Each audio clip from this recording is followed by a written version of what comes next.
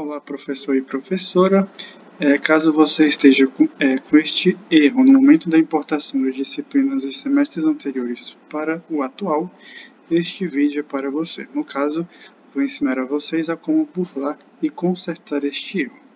Veja que o erro aparente é o Setting Valid While Label. Então, é, esse vídeo é exclusivo para né, essa, esse bug. Então, no caso aqui eu vou clicar em continuar e vou voltar para minha sala de testes.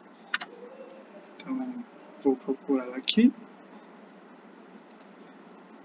Então, essa aqui é a minha sala, do, que seria o equivalente ao de 2021.2, e este aqui é a minha sala é, antiga, né? No caso, o que, que eu tenho que fazer? Eu tenho que ir aqui em editar sessão, veja a primeira sessão, tá? As demais estão todas nomeadas, então não é o problema em relação aos tópicos é, subsequentes. Geralmente esse erro está mesmo atrelado à primeira sessão, a sessão de introdução, que geralmente se chamava geral ou general.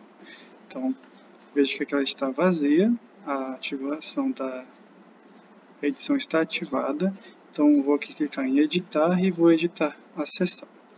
Veja que aqui ela está vazia, então vou colocar um nome qualquer. Vou colocar aqui introdução e vou salvar. É, feito isso, vou fazer todo aquele processo de importação. Então vou pegar aqui o nome breve da disciplina antiga que eu quero reaproveitar e vou aqui na nossa engrenagem do curso atual, que é o que a gente vai utilizar neste semestre. Então vou clicar na engrenagem e clicar em importar.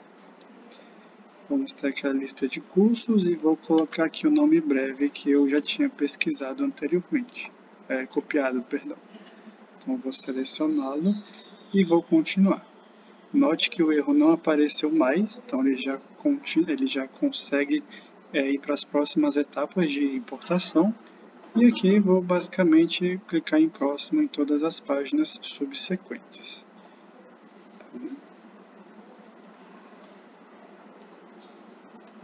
Vou executar a importação e a importação agora ela começa a ser realizada. Vamos aguardar um pouco.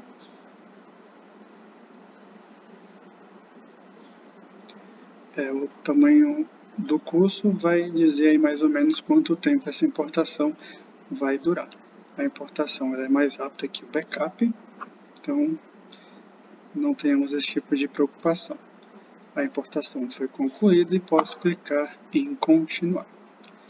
No caso, é este o passo a passo que deve ser feito para que o problema citado seja solucionado. Obrigado a todos, tenhamos um ótimo semestre.